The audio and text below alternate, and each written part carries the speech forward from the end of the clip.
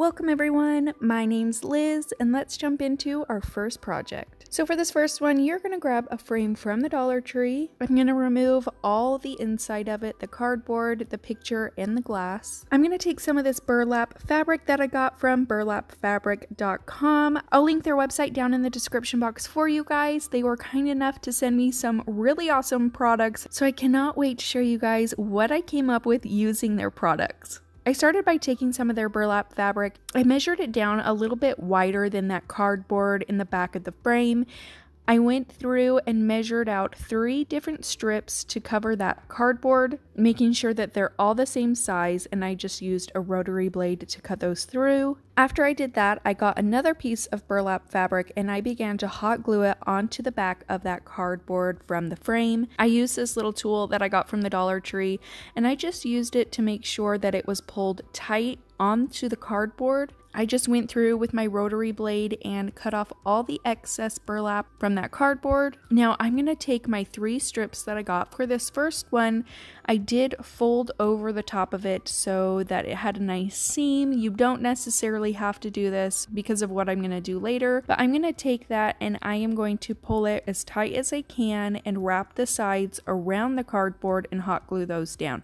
Now, I should have probably lowered this first strip just a little bit because in the end it does, it's not completely even, but it doesn't bother me too bad. So if you're doing this, probably just make sure that you're getting them evenly on there. I'm going to run a strip of hot glue on the bottom so that when I put things into that pocket, they're not falling all the way through. So I'm going to add that second strip and I'm going to overlap it on that first strip that we added just a little bit to cover up the bottom. And I'm going to follow the same process of hot gluing it to the back and then I'm going to say follow that same process for my third strip of burlap, just overlapping that middle piece and then hot gluing it to the back.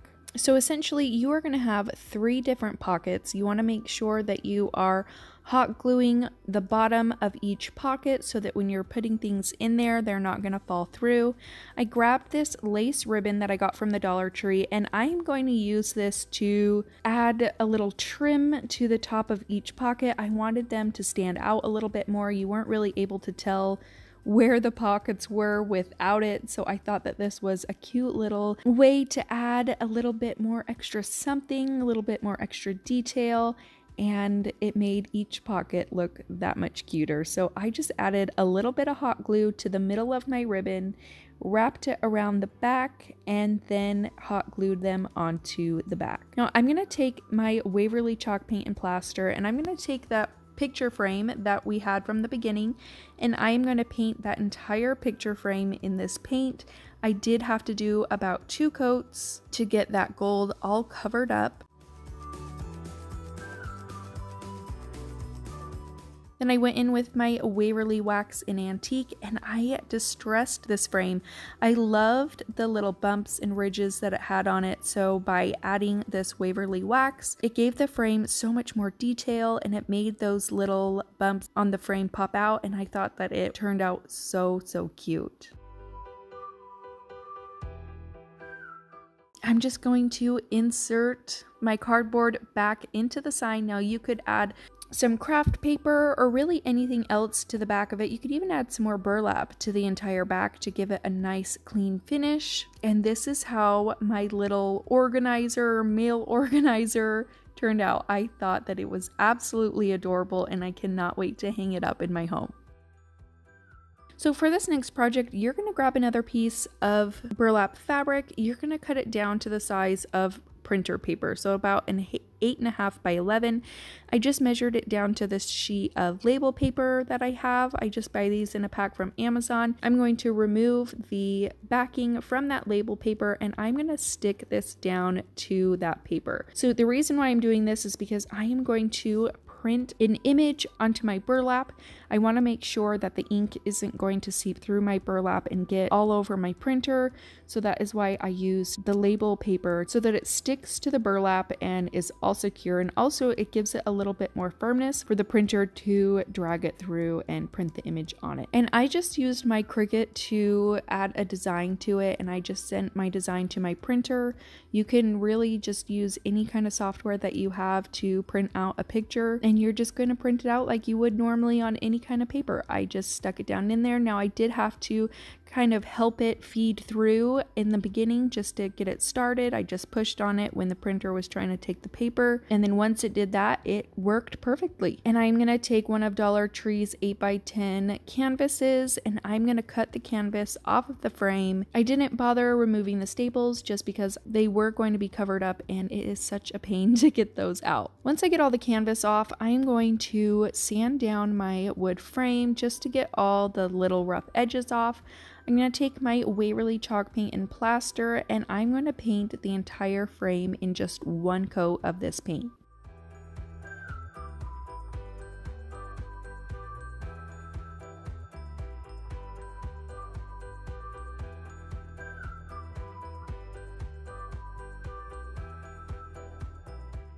Once I've done that, I'm going to take my Waverly Wax and Antique and I'm going to distress my sign really just doing a dry brush technique all over the entire sign. I wanted it to look like it was an old weathered piece of wood that used to be painted in an ivory color.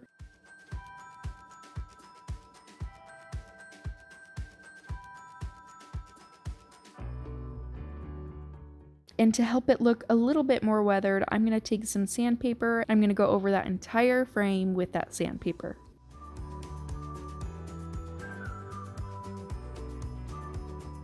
Once I've done that, I'm going to take the canvas that was on the frame and I'm going to cut that down and I am going to glue my burlap down to the back of the canvas. I wanted to do this so that my burlap was a little bit more sturdy on the frame and it gave a little bit more material to attach to the back of my frame. So I'm just going to add a little bit of hot glue to my frame and press that down onto my burlap sheet.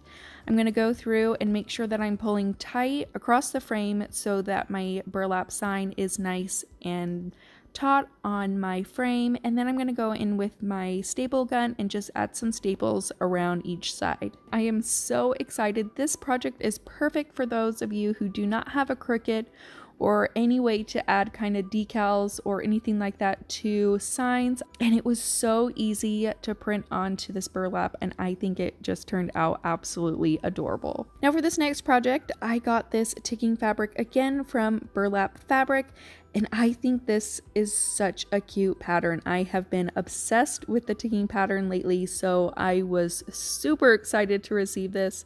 So I'm going to make myself a pillow. So I measured out about a 9 by 9 pillow.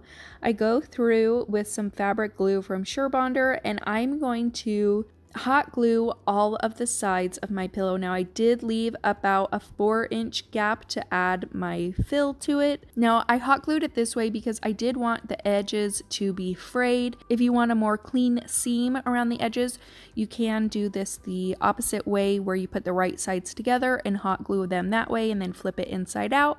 But because I did want my edges frayed, I did hot glue them wrong sides together. Now I'm going to go through with some scissors and just add some slits around all the sides. This is what is going to give me my frayed look.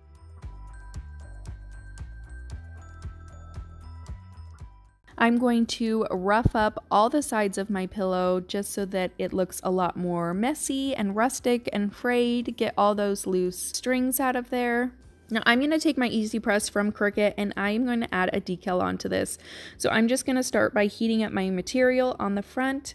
I'm going to take my decal and I'm going to hold it down there for about 20 seconds. I flip it over and do the exact same thing. And then once I have that decal on there, I'm going to begin to fill my pillow with some polyfill.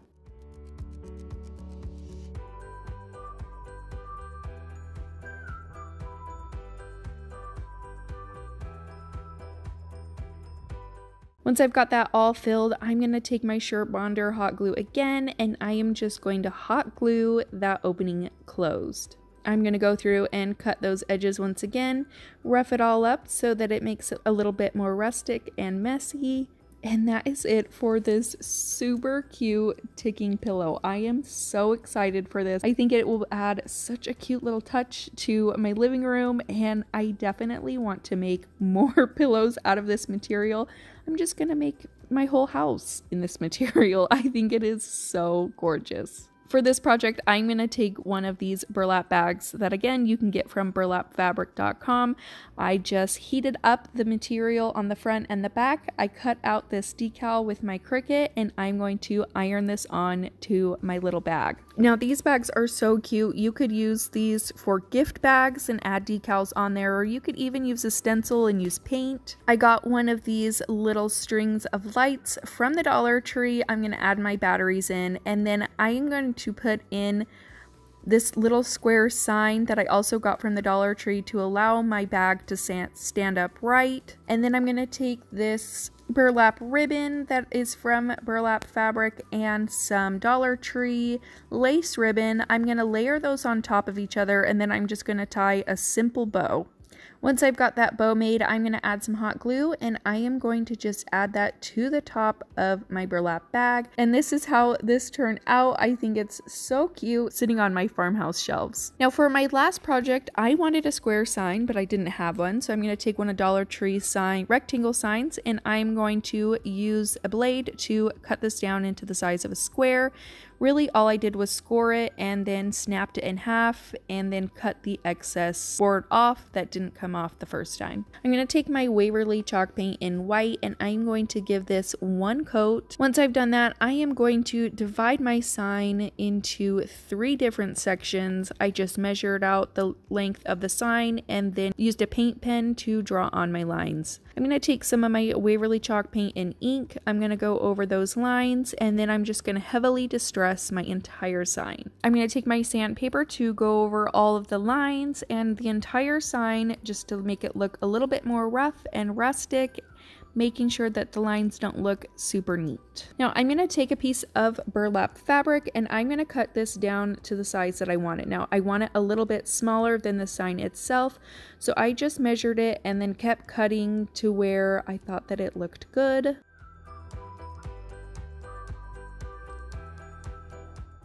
Once I've done that, I am going to fray all four edges of my burlap. I'm going to take two bead, two wooden beads that I got from Amazon. I'm going to use my miter shears and I'm going to cut both of those beads in half. Now you can do really whatever you want right here. I decided to write the letter M for our last name. I just used a pencil and a ruler to make sure I had straight lines. I am not super great when it comes to bubble letters, so I just did a simple M. I think it would look really, really cute with bubble letters, so if that is something you can do, by all means, please do it. Now I took some metallic copper paint and I used that to paint those beads.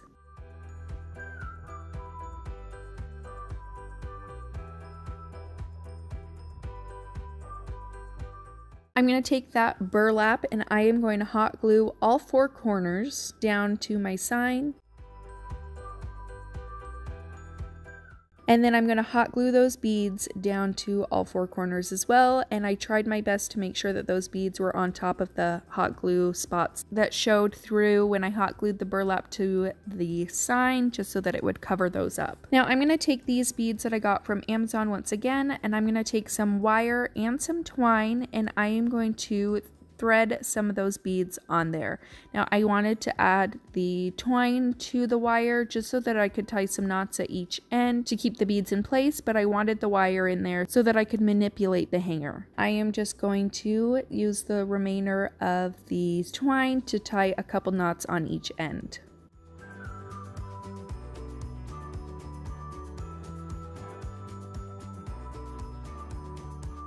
Once I've done that, I'm just going to hot glue my hanger to the back of my sign and that is it for this project.